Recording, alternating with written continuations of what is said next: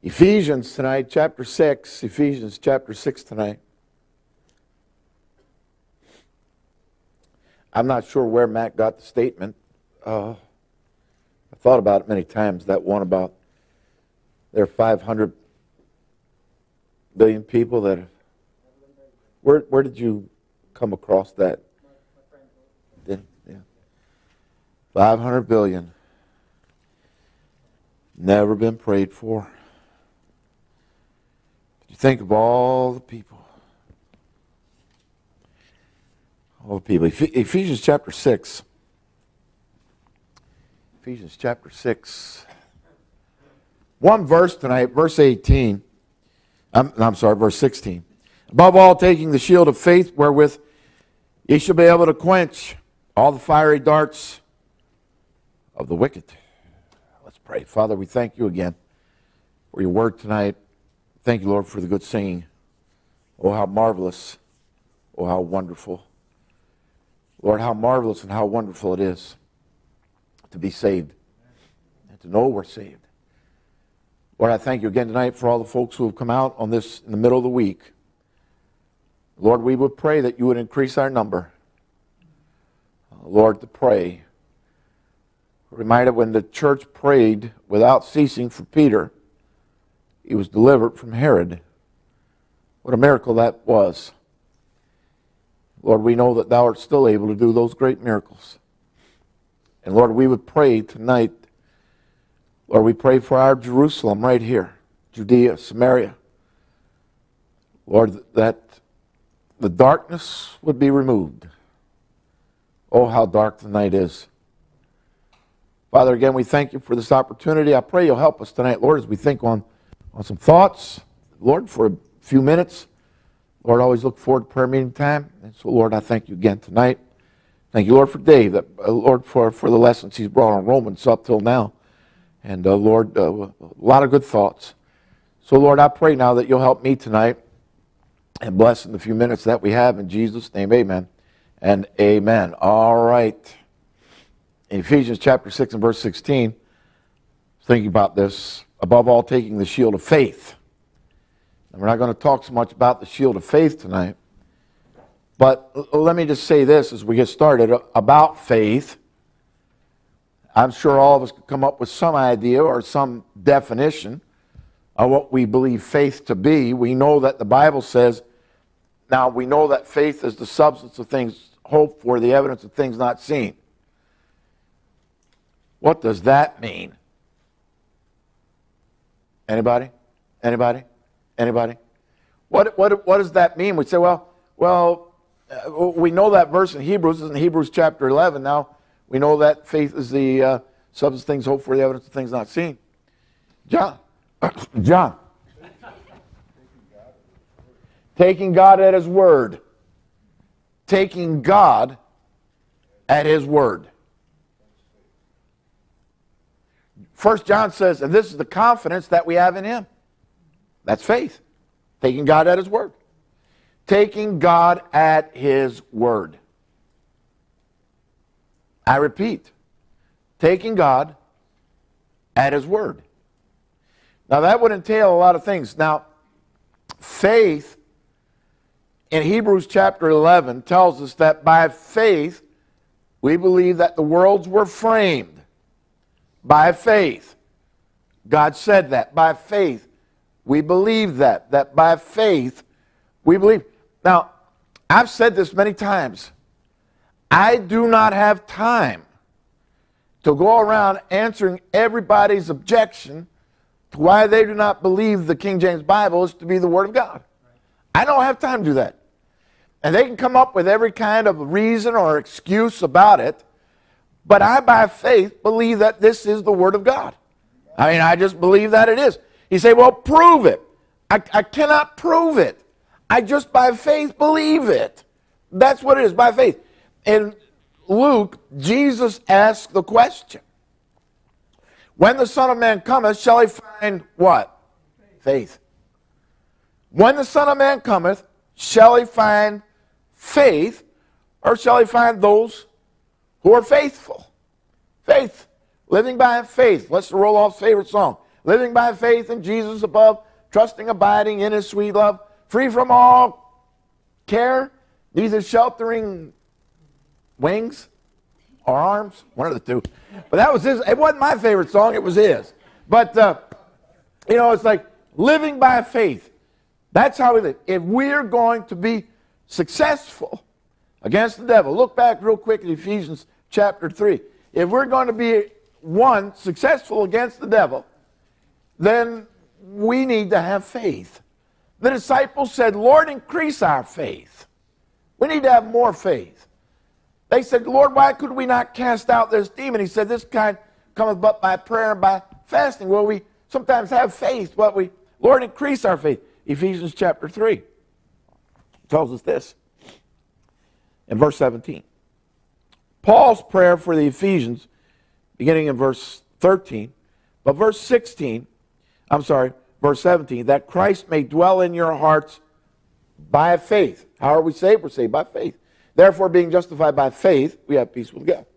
All right, Christ dwell in our hearts by faith. But then it says also in that verse, that ye being rooted and grounded in love. That as believers in Christ, as those who have trusted Christ, we need to be rooted and grounded. Because there's the reason why. Because Satan is all the time throwing darts at us. Now, the Bible says that we are not ignorant of his devices. We are not ignorant of his devices. But truthfully, I mean, think about this. How many Christians are ignorant of Satan's devices? They're ignorant. They, they, they really, now, ignorant doesn't mean they're stupid. Ignorant, Paul says in, in 1 Thessalonians chapter 4, I would not have you to be ignorant, brethren. And Paul uses that word ignorant several times. It does not mean that they're stupid, it just means that they're unlearned in a particular thing. And many Christians are unlearned in the devices of the devil. I ask you this question tonight. I'm going to ask you another question in a moment, but think about this for a minute. How does the devil attack you? Oh, he don't ever attack me. Oh, yeah, right. You are absolutely wrong if you do not think, if you don't think the devil attacks you, he's already succeeded. I, he has succeeded in, in such a great way. You know, he's gone out to deceive the world that multitudes of people don't even believe in the devil. What a job he has done. How does the devil attack you? He does. Now, it says in Ephesians chapter 6, where we read, thereby taking the shield of faith, wherewith you should be able to, to quench the darts that the devil is throwing at you the darts that he's throwing. Have you ever stopped to consider what are the darts that he's throwing at me? What are the darts that Satan is throwing at us? So I ask you that question tonight. What are the darts? Name me a dart that, that Satan throws. Anybody. I know it's kind of, huh? Doubt. The, the, the dart of doubt. The dart of doubt. Now, thereby taking the shield of faith, wherewith, all right, he's throw, throwing that, that dart of doubt. That, and, and how many Christians? I know everybody doubts from time to time. I mean, that's just the nature of the beast. But to live in constant doubt, this, the, Satan wants you to doubt. So if, if we're going to be successful in extinguishing the, the, the dart that Satan is throwing at us, we must have faith. Well, Satan, I know what the Bible says. This is what the Bible says. Man shall not live by bread alone, but by every word that proceeds out of the mouth of God. And may I just remind you, sir, Mr. Devil, and I remind you about this, and I'm very, very, I'm very, I'll be honest with you, I'm very leery of the devil. Uh, if Michael, the archangel, would not argue with him, I'm not about to argue with him. I'm just going to say this The Lord rebuke thee. And this is what God said.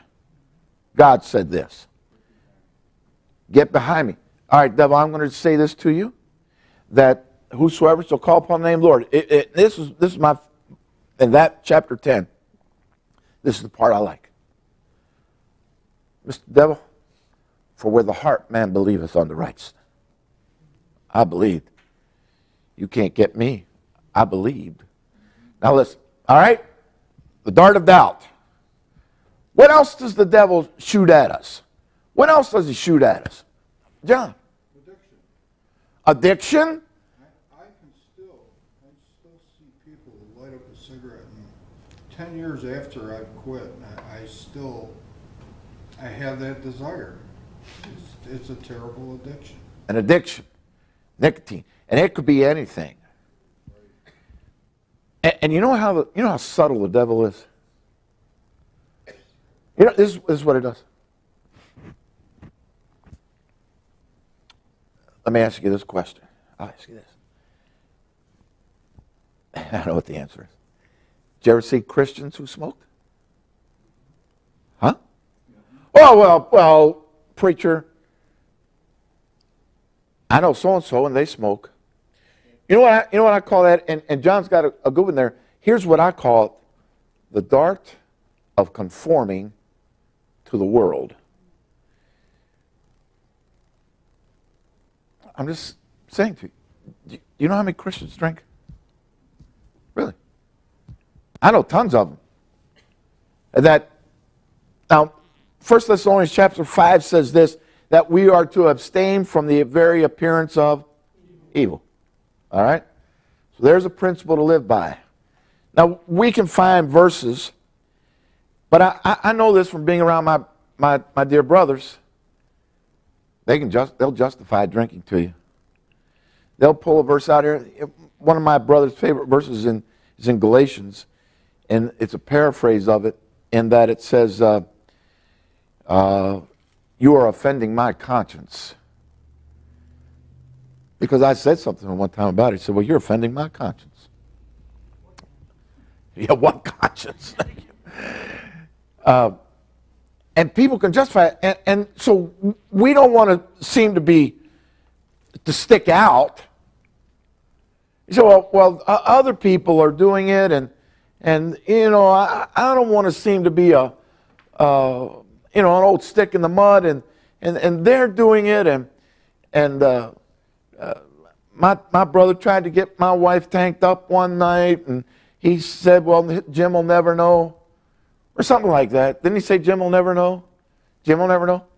What did you tell him? Yes, he will, because I'll tell him, or something like that. And, uh, uh, you know, it's, it's just, and people say, well, and, and the devil throws that dart at us. He says, come on.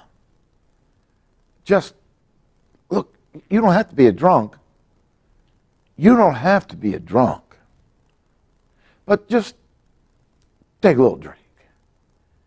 The, the dart of conformity, and when you have addictions, they always ask me at the doctor's office, have you ever smoked? And I always tell them, yeah, I smoked about 200,000 cigarettes. The back seat of my father's car. I said, I just, but they're terrible. You know, I, Carol can't stand cigarette smoke. It doesn't bother me. I can be around it. It, it doesn't bother me. I guess because I was around my father so much and I just, but people have addictions. And they, they, they do not want to see. Look, if we're going to put out those spears that the devil's throwing at us, we need to have faith. Just take God at his word, as John said. 1 John chapter 3, it says, and this is the confidence that we have in him. We have confidence in God, not to conform. Uh, be, be not conformed to this world. Yeah, but wait a minute, preacher, you, you don't understand. I mean, uh, uh, people look at, at Christians as if they're, they're kind of strange, but Peter says this in 1 Peter chapter 2. Ye are a chosen generation, a royal priesthood, a peculiar people. And you are peculiar. There's no doubt about that. We are that. And so the world looks at us, and, the, and we look at the world, and the world's out here, and the, the world's on its way to, to hell. And so we want to emulate the world. I, I, that's what I don't get. Eh, you'll pardon me for interjecting this. That's what I don't get about my family. I don't get that. They want to emulate. And I, and I, Carol and I have talked about this before. We, we talk about Pete all the time. I don't know if his ears are burning or not, but we talk about him. Talk about my dad. Talk about old Oakley O'Brien. Town drunk of Bel Air. Dad, Dad used to drink. I can remember what he drank. I, I mean, I, I, I can still see. I don't. I can still see it. Uh, and Pete says this. And my dad was saved out of that. Oak was saved out of that. Pete was saved out of that. Why my family wants to go back into that? I, I don't. I really don't quite get that. We are peculiar. But people have the idea, well, I don't want to seem like I'm an oddball. So the devil throws a dart over there at you and says, No, you don't want to be an oddball. You don't want people to think you're weird. You don't want people to think you're odd. So just conform. And you have an addiction of some kind. And, and John said cigarette smoke or, or uh, uh, uh, for the taste of alcohol. You know, the Bible says to abstain from it. But the devil says, No, you don't want to do that. Because then people will think you are peculiar. And so, if we're going to be successful, then we must have that shield of faith and simply say, okay, devil, I, I really don't care. I'm just going to live by faith and trust God. I'm just going to live. Arnold? What about all the people that always used to say to me, you call yourself a Christian and you uh, do this or this or that? I never had anybody the other way. They were always after me to be better. Absolutely. And, and you know what? The world expects more of us. Yeah, absolutely. I've never said to a drunk, hey, what are you doing drinking? That's just what drunks do. And uh, uh, so then the drunk looks at us and says says to a Christian, what are you doing drinking? And so the world looks at us and and so we don't want to we don't want to seem to be odd and we don't want to be left out and we don't want people to uh, speak badly of us. And so he said, Well, you know, uh, boy, I, when the Son of Man cometh, shall he find faith? Look. Uh, and so we need to be aware of the fact that Satan is continually and constantly, if he's not, then one of his little imps are shooting those arrows at us, those flaming arrows, those darts at us, and, and trying to get us to move off of the rock of faith. What else? What else, Satan? Uh, okay, addictions, conformity, doubt. What else does Satan shoot at us? Physical affliction.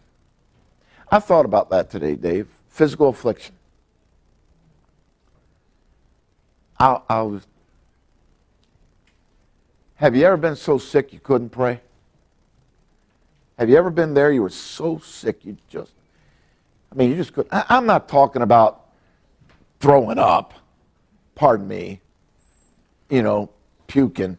Uh, you know, I'm not ta- but I'm talking about being so sick you, you, you, couldn't even lift your head off your pillow. And you were really depending on somebody else to pray for you. But God but sometimes in our lives we have physical afflictions. And we, we ache, and, and, and then Satan throws dart at us. We, we really don't know how Job actually thought. We can read Job and see some of the things he said, but Job's wife said, Why don't you curse God and die? All the problems that had happened to Job, his children dying, lost his wealth, lost everything, lost his health, lost just everything. I wonder if he ever thought the privacy of his own thoughts. What does God really love me? Does God? I, I think of uh, Brother Welling with stage four cancer. He's had it for a while, been fighting it. You know, some days are good days, some days are not. You think the devil ever comes around to him? I, I remember hearing Brother Curtis say this. He was almost dead. He's on a tape. He's almost dead.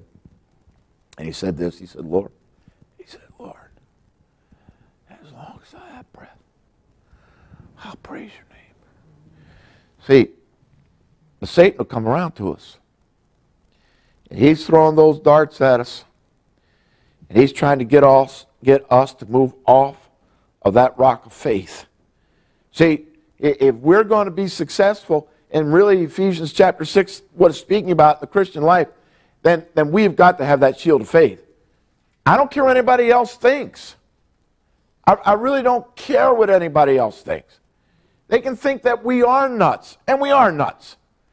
But everybody is a nut for somebody, amen? And, and you're either going to be a nut for the devil or you're going to be a nut for God. I always remember Carp always used to say that, you know, no man can serve two masters.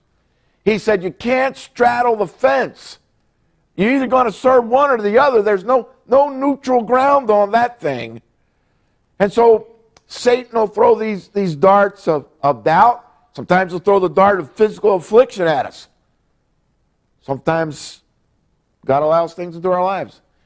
But you know, the great thing is we remember this is that is that we are in the hand of God and nothing can get to us that God does not allow. Sometimes we may not understand why, why God allowed it, but I'm thankful that someday we will know. We will understand. Someday we'll know even as He knows. We may not know it now, but someday we will. All right, so Satan sometimes throws the dart of physical affliction at us. Envy. Envy. Who are you envious of? Why did you bring that up? I mean, I, where'd that come from? Envy.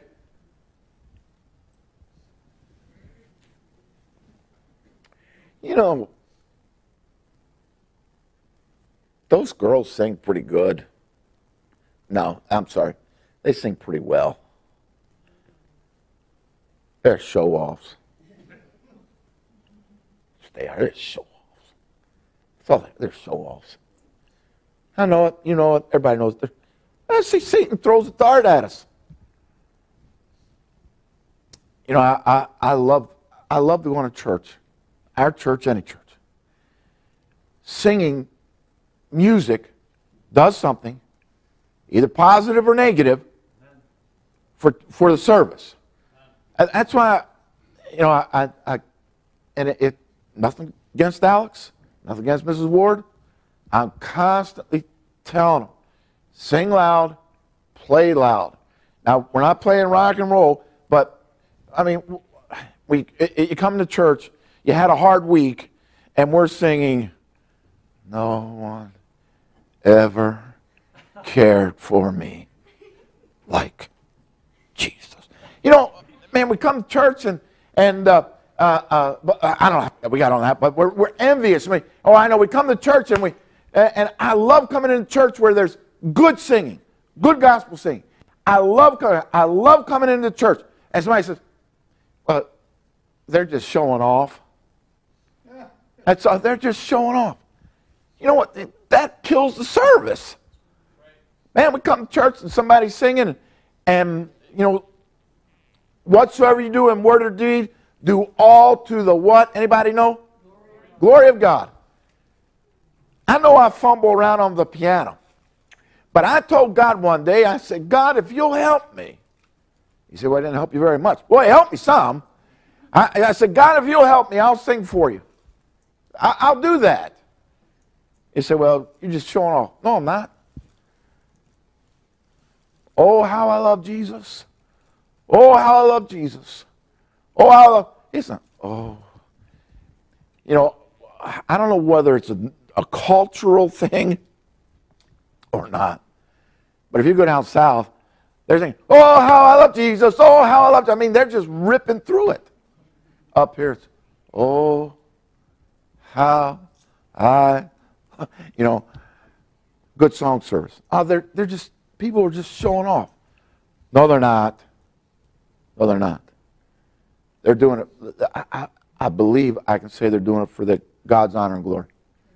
And, I, have said this before, and, and, I know that every church is different. I know that.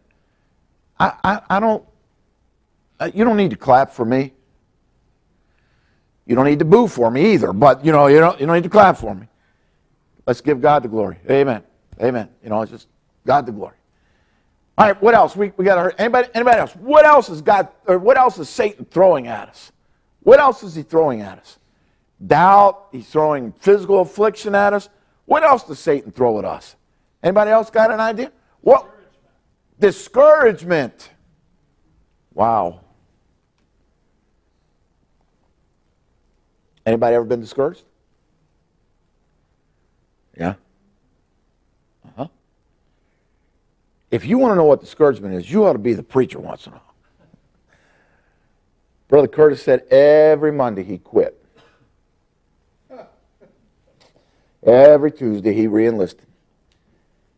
If we understand John chapter 21 correctly, when Peter said, I go fishing, what he was saying was he's making a declaration that I'm going back into the fishing business. Six discouraged, or seven discouraged preachers right there. Seven discouraged preachers. Peter and the other six guys that were with him. Must have been a Monday. Discouragement. If we're going to overcome discouragement, we got to have, we need to believe God. That all things do work together to them that what? Love God. Love Him. Love God. Lord, I love you. Don't understand everything. Uh, and we don't understand everything. But boy, we get discouraged sometimes just by the process of life. We get discouraged. And Satan wants us to be discouraged. When we come to church, he wants us to have our heads hanging down. He wants us to sing slowly. He wants us to be thinking about all of our problems. And, and everybody's got problems, amen? Everybody's got problems. I got problems, you got problems. You ought to drive a school bus if you want to have problems, amen? And, and you know, or, or, or and, and I know this, working on a farm. Boy, if you don't have problems working on a farm, if you say, I don't have problems in my life, go work on a farm for a little while. You're nothing. What's Satan want to do? He wants to discourage us. I, I, I wouldn't bet on it, but I, I'll bet that, that there were probably some people thought, well, you know, maybe I ought to go to prayer meeting tonight. Uh, I'm pretty tired. I got to get up and go to work tomorrow. I, I, I'm not going. I bet that's true about Sunday. I bet Satan discourages people to keep them from coming. Maybe, maybe the car won't start. Maybe you got a flat tire. Do you ever have a flat tire when you're trying to get somewhere? Devil trying to discourage you. Or maybe you know somebody says, "Well, not always," and it's true. God may be trying to protect you from something down the road. So instead of being discouraged about it, saying, Well, Lord, I don't understand it all, but by faith, I believe that, you know, you're, you're trying to do something for me. Living by faith. So he throws the, the dart of discouragement at us, and, and he wants us to be down, and he wants us to be discouraged about life. Boy, of all people in the world, we're the ones that ought to have something to be excited about. You know, I, I heard Adrian Rogers say this the other day, and I was going to jump out of the truck. Because he said this. He said something about having problems. And he said this. He said, Don't be discouraged because the king is on his way. I thought, boy, and isn't that a statement? The king is on his way. Pete, being the great Bible prophet that he is, said, Boy, preacher, bad as things are, he said, Jesus ought to be coming pretty soon. Well, we don't know that, but we do know this the king is coming. I'm, I'm not a, a big the king is coming fan, songs guy, but I'm a real big fan about the king is on his way. The king's on his way. He may not be here today, he may not be here next week. But, brother, we don't need to be discouraged. By faith, Somebody says, Well, where is the promise of his coming? For all things continue as they were since the Father slept. If he's coming, where is he? Was that seat at the right hand of God the Father? He's probably getting up just about now to grab the doorknob. The king's on his way. Okay, so things get bleak. So we, we have physical problems, or, or we have, and, and sin is, and John says something about addiction problems, but sin is an addiction. I mean, we are addicted to it. That's the way it is. I realize some people have addiction problems. They're addicted to drugs or to alcohol or to, to nicotine or uh, uh, any number of things. But the king is on his way. The king's on his way. Cheer up. Yeah, but I'm pretty discouraged tonight, preacher. Cheer up. The king's on his way. Yeah, but uh, you've said that now for 30 years. So he's one day closer than he was yesterday. The king's on his way. Real quick, real quickly, quickly. One more. Anybody else got one? And I say, preacher? Yes, ma'am. God doesn't love me. You're right there in Ephesians and verse chapter 3. Look at that. Verse 18. Ephesians chapter 3 and verse 18, that we may be able to comprehend with all saints what is the breadth and length and depth and height.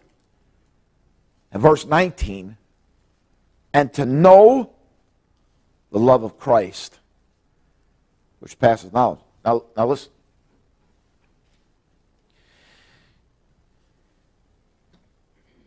Do you realize that many Christians do not realize that God loves them? Now, I'll put it like this they do not feel like.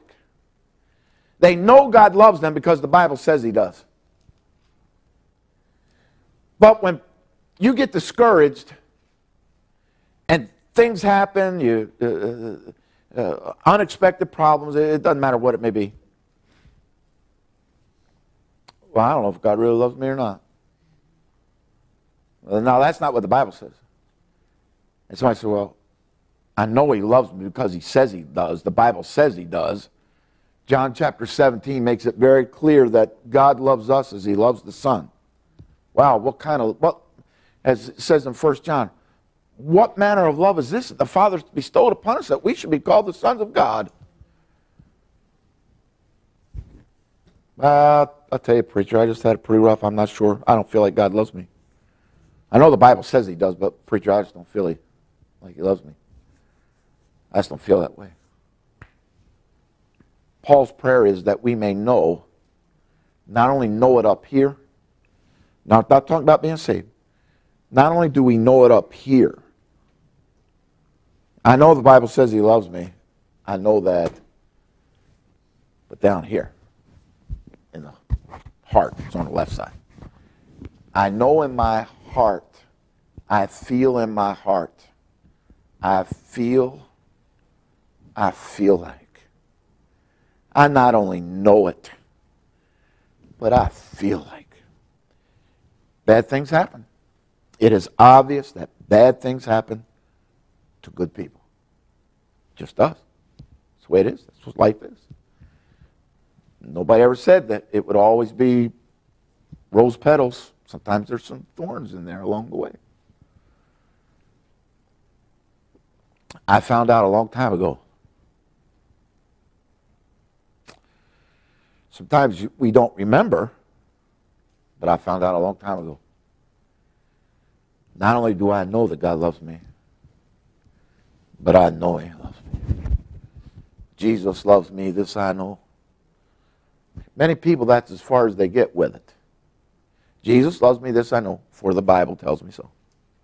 That's as far as they get. That's it. They never get to the point where Paul prays here in verse 19 that to know the love of Christ which passes knowledge. People say, well, how can you go over, how do you go to church all the time?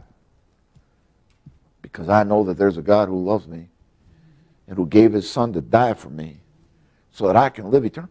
How, how, what, what's that verse? No greater love hath a man this than a man lay down his life for his friends. I've called you friends. Where's friend?